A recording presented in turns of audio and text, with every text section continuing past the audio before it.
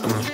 Two's a crowd, freeze a party coming. Move around like first rush when the school is out, when the booze is up, when the sun From the ingredients, alam natin na makaka-help ito sa pagpapaputi ng skin natin.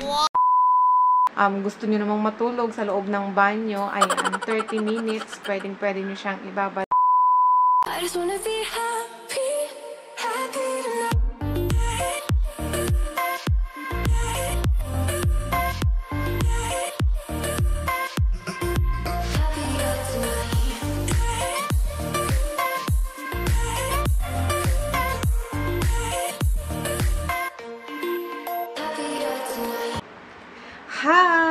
Welcome or welcome back to my channel with another video and for this video ay isa na namang pampaputing product ang isi-share ko sa inyo. Isa ito sa mga bleaching whip scrub in the market na makikita natin ngayon, yes. And kung halimbawa meron kayong kakilala or kaibigan na nagtitinda ng mga pampaganda, for sure, isa to sa mga product na binibenta nila. Ano nga ba ang pinagkaiba ng product na to, itong bleaching whip scrub na isi-share ko sa inyo, sa ibang mga scrubs na na-try na natin, na syempre na-share ko na rin sa inyo. So, ayan, later, aalamin natin yan.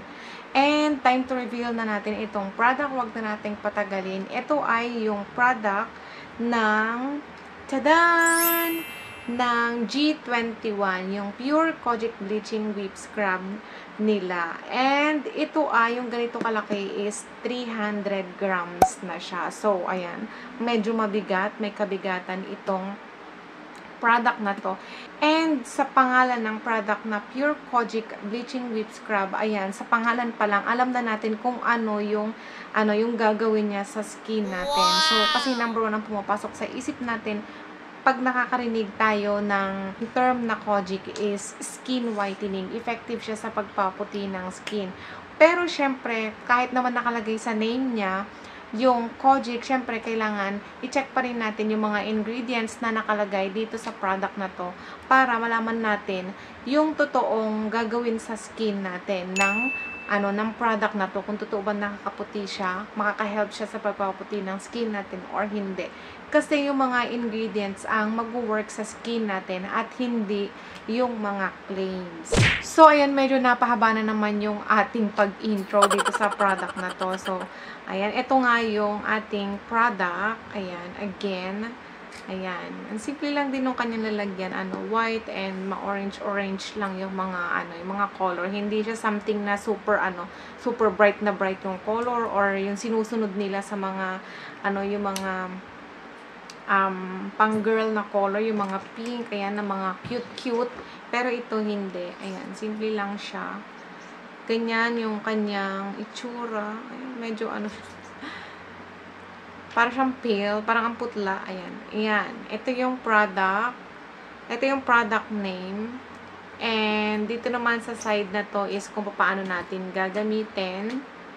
Sa side naman na to is yung mga ano, yung mga ingredients. So maganda dito nakalagay dito lahat yung complete ingredients and yung mga active ingredients na meron itong product na to. So meron siyang kojic acid dipalmitate, glutathione, niacinamide, collagen, azig ano to? Aziglyc optima, snail lime extract, alpha arbutin, shea butter, papain, Jeju barbadensis or yung favorite natin na aloe vera and papaya extract. So, ayan kung may pagka-chemist kayo, alam nyo na agad kung ano yung mga ingredients na yun. But, dun sa mga nabasa natin ng mga active ingredients, siyempre may mga familiar dyan yung na mga ingredients. Yung first four, super duper, ano, familiar sa atin yan. Yung kojic acid, glutathione, niacinamide, collagen. Makikita natin yung mga ingredients na yan dun sa mga ibang um, skincare na ginagamit natin. Like, halimbawa sa face cream, serum, lotion. Ayan. So, um, from the ingredients, alam natin na makaka-help ito sa pagpapaputi ng skin natin. So, andito naman sa kanyang puwitan, yung kanyang manufacture date and yung expiration date. So, all in all, dun sa packaging, lahat ng mga kailangan nating malaman, yung mga important details, sa product na to ay nandito. Ayan. So, para naman sa paggamit natin ng product na to, ayan, nakalagay naman dito yung instruction. Siyempre, kukuha tayo ng ano, yung tamang amount na gagamitin natin sa face natin or sa katawan natin or sa gusto nating part ng katawan natin na paggamitan nito na makuskusan ng mahiwagang product na to. Ayan. And, syempre, um, pwede natin siyang ibabad ng 20 to 30 minutes. And dun sa pagbabad, syempre, depende yan sa preference natin. Meron kasi yung iba na gusto nilang ibabad ng matagal and meron naman yung hindi. So ako, usually, ang pagbabad ko is hanggang 10 minutes talaga. But for this product, pwede daw natin siyang ibabad ng hanggang 30 minutes. So, ayan kung um, gusto nyo namang matulog sa loob ng banyo, ayan, 30 minutes, pwedeng pwede nyo siyang ibabad. Siyempre, para masulit natin yung skin whitening effect niya, yung bleaching effect niya sa skin natin. And, of course, makakakita tayo ng result, ng best result pag regular natin na ginamit, pag continuous natin na ginamit itong product na to. And sa mga product na ganito, of course, maganda din siya na i-ano natin, i-combo natin, i-matchy-matchy natin siya sa mga ibang whitening products din na ginagamit natin. And of course, dahil nga sa mga active ingredients na nakalagay dito sa product na to and scrub siya, alam naman natin ang scrub ay may beads and medyo nagko-cost siya ng micro ano micro scratches sa skin natin. Of, hindi natin siya makikita sa ano sa naked eye natin, but it can cause ano skin drying. Kaya para maiwasan natin yun, gumamit tayo ng lotion after natin na gumamit ng anumang pampaputi na pamahid sa skin natin. So, now, o-open natin yung product and of course, alamin natin kung ano yung kanyang amoy. Ayan. May seal siya na ganito. So, and isa din, isang tip din para makabili tayo ng legit na product. Of course, doon tayo sa legit seller bumili. Ah, alam niyo pagkatanggal ko nung kanyang ano, ng kanyang seal, sumingaw agad yung amoy niya. Wow! Ang bango-bango niya. Para siyang pagkain. Mommy, I Mm. milk.